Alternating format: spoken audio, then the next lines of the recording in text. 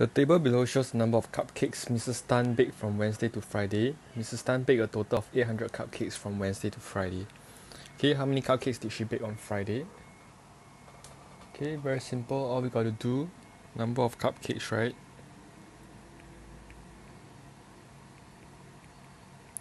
Okay, we just have to take 800 minus 260 minus 300.